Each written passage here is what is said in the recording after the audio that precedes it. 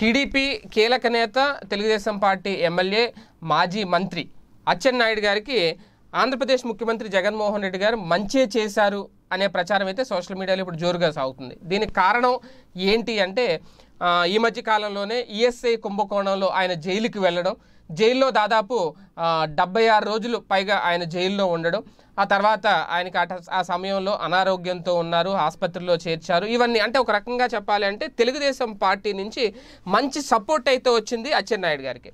అంటే ఆ సపోర్ట్ ఎంతవరకు వెళ్ళింది అంటే రాష్ట్ర అధ్యక్షుడిగా చేసేంత వరకు.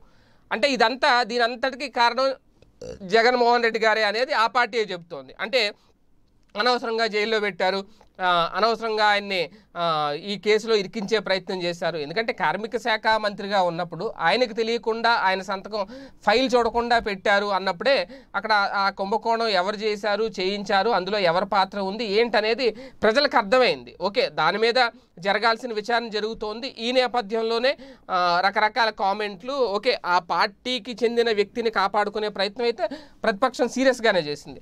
కానీ ఇక్కడ జగన్మోహన్ రెడ్డి గారి వల్లే ఇదంతా జరిగింది అంటున్నారు కాబట్టి సోషల్ మీడియాలో ఇప్పుడు కూడా జగన్మోహన్ రెడ్డి గారి వల్లే ఆయనకి పదవి దక్కింది జగన్మోహన్ రెడ్డి గారి వల్లే ఆయనకి మళ్ళీ పార్టీలో గుర్తింపు పెరిగింది. అంటే మొదటి నుంచి గుర్తింపు లేదని కాదు ఇంక ఇంకా ఇంకా పెరిగింది. ఇప్పుడు రాష్ట్ర అధ్యక్ష పదవి ఇవ్వడం వరకు వచ్చింది అంటే ఇదంతా జగన్మోహన్ రెడ్డి గారి పుణ్యమే. ఒక రకంగా చెప్పాలి అంటే అచ్చెన్నాయుడు గారికి పదవి రావడానికి కారణం జగన్మోహన్ రెడ్డి గారే అనేది ఇప్పుడు సోషల్ మీడియా మొదలైన ట్రోల్స్.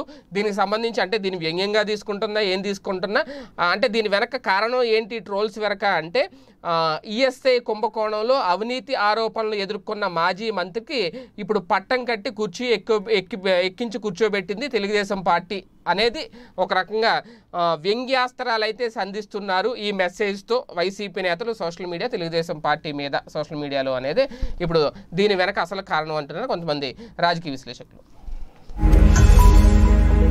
వీడియో గనక మీకు నచ్చినట్లయితే లైక్ చేయండి షేర్ చేయండి. మరిన్ని వీడియోస్ కోసం మా ఛానల్ను సబ్స్క్రైబ్ చేయండి.